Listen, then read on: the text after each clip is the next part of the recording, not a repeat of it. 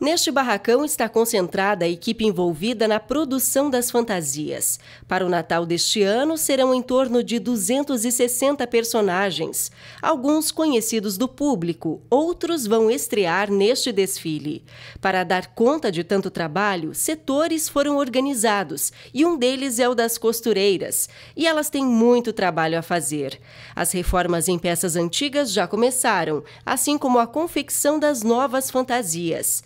A Amélia de Oliveira, costureira há 25 anos, faz parte da equipe. Além da gente ensinar o que a gente sabe, a gente aprende muito também com a equipe, né? E o Natal é sempre uma magia, né? Os figurinos são muito especiais.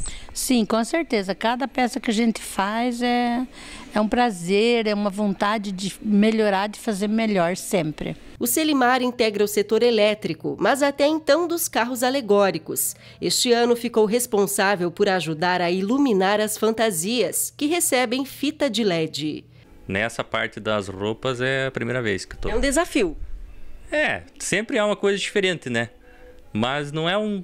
Aqui é mais delicado do que a parte elétrica que normalmente eu faço, né? Para o desfile deste ano, são mais de 350 pessoas envolvidas, entre equipe da prefeitura e voluntários. Simone Dalfovo, que coordena o desfile e a decoração do Natal de Pato Branco, conta que 11 novos carros alegóricos vão entrar na avenida. Com uma cara totalmente nova, para o nosso Pato Branco, né?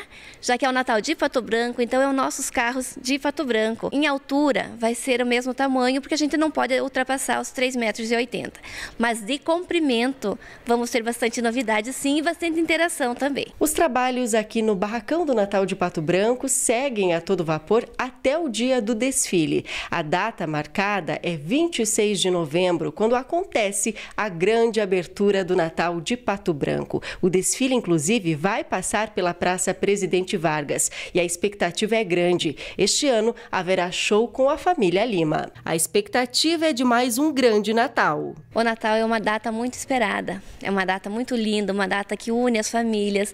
Então, o que a gente tem que levar para essa data? Mais alegria, mais amor, iluminação, que é o que a gente precisa nos momentos de hoje.